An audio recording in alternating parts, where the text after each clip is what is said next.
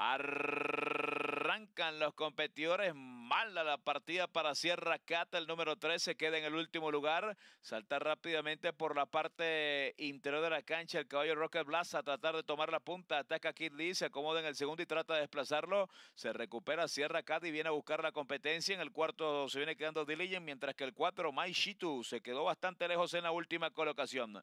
Domina Kid Lee la prueba. Ataca por, el, por la parte interna el ejemplar Rocket Blast. Entre los dos viene apareciendo Sierra Cat.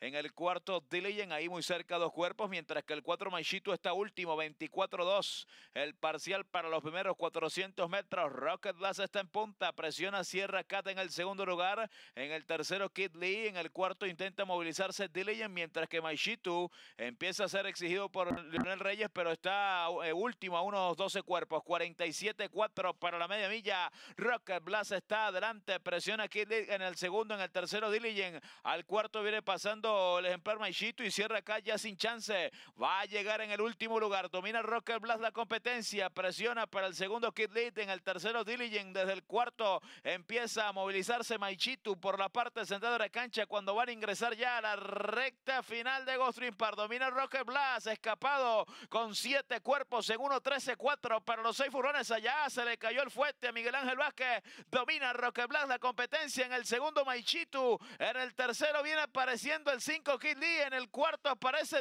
Pero que va, les va a ganar galopando el 12, el de Refri con Miguel Ángel Vázquez y no puede perder. Ganó Rocket Blast muy fácil. Segundo Maishitu, tercero Kid Lee, cuarto Dillingen, último caminando fuera de carrera Sierra Cat.